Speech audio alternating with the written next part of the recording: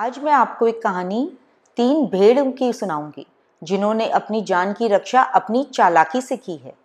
Shirley, barley, curly तीन भेड़ थे। वे भाई अपने जंगल में रहते थे।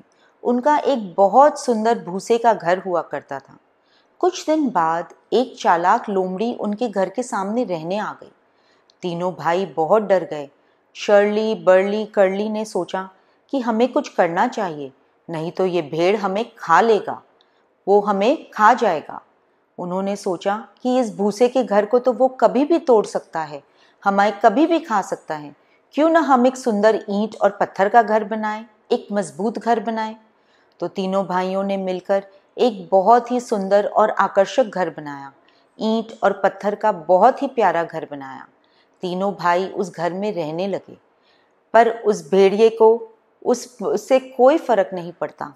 उसने कहा, मैं फिर भी तुम तीनों भेड़ों को पकड़ लूँगा। शर्ली बर्ली कर्ली ने सोचा कि अब हमें कोई ना कोई रास्ता तो निकालना चाहिए। एक दिन वो भेड़िया उनके दरवाजे पर आकर ज़ोर ज़ोर से खटखटाने लगा। खोलो, दरवाज़ा खोलो, मुझे अंदर आने दो, मुझे अंदर आने दो। शर्ली बर्ली कर्ली ने दरवाज़ा नहीं खोला। वह अंदर बहुत ही डरे हुए थे। सोचे अब हमें और कोई तरीका निकालना पड़ेगा। क्योंकि यह ऐसे नहीं आएगा तो कोई और तरीके से अंदर आएगा। फिर उन्होंने अपने भट्टी में लकड़ियाँ जलाई। सोचा, यदि लोमड़ी यहाँ से नहीं आ सकी तो ऊपर भट्टी की तरफ़ से ज़रूर आएगी। तो उन्होंने उसमें लकड़ियाँ डालकर जला दी। लोमड़ी ने यही कोशिश की। उसने ऊपर चढ़ा घर के और धीरे धीरे भट्टी की तरफ़ जाने लगा।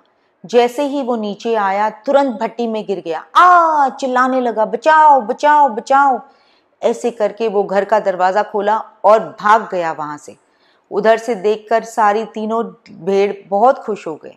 शर्ली, बर्ली, करली ने बहुत खुश हुए और अपनी चालाकी से उस भेड़िए को वहाँ से भगा दिए।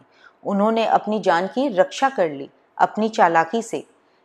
इसलिए बच्चों, अपने हमेशा चालाकी ही काम आती है। हमें अपने हमेशा अपनी बुद्धि का इस्तेमाल करना चाहिए।